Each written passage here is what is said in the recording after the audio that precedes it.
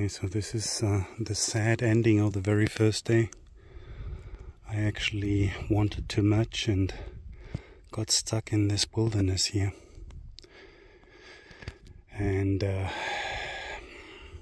had to call the uh, the owner of the uh, hotel and a very helpful Spanish person opted uh, for coming and getting me so hopefully this will work out. Yeah, it's uh, very beautiful, but um, very hard. It's very uh, up and down, and it was very exhausting because it was very warm. And uh, and then after all, I still had had uh, air coming out of the uh, tire, the rear tire so I guess uh, I've got a flat although it's not completely flat. I don't know. I have to check that unfortunately. So it was still demoralizing because um, it's I'm stuck like 29 kilometers before Almodovar. So the app shows me two and a half hours on the bicycle. So I could have made it by 10 maybe. Probably would have gotten dark so Hmm. well, so uh, would have been tough, but possibly could have made it. But uh, you know, riding down, even riding down these mountainous gravel roads is something of an adventure, and you can't really go fast. So might have needed even more than two and a half hours. So the person Jose Luis has a has an SUV. I hope the bicycle will fit in there.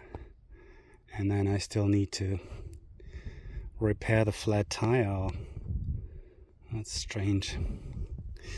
Anyway, sun is almost down. I'm not sure whether he comes with the uh, the lady of the the hostel or the hotel or just by himself. I think both of them come because he probably wants to see how the stupid German got stuck in the Portuguese, southern Portuguese uh, wilderness.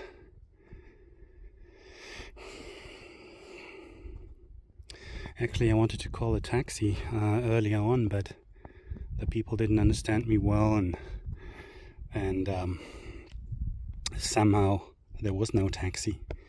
So what I did here uh, I shouldn't have gone on this gravel road maybe. Should have stayed on the main road. That would have made it easier for the person to come and get me. Um, but anyway, uh, yeah, I mean this was tough, and then the the air coming out of the rear rear tire was was the the finish. So I sat down there and uh, called the owner can you come and get me? Or do you know somebody who can come and get me? Difficult uh, conversation. Didn't speak much english so uh, fortunately there was the spanish jose luis uh, who i could talk to and explain where i was and uh, share the location. So hopefully he'll find me. Okay. Sad day because uh, i'm 52 years old and uh, still get stuck uh, like a novice, like somebody who does this for the very first time. Anyway, very sad. Okay, hopefully uh, the coming days will be better. Take care, bye bye.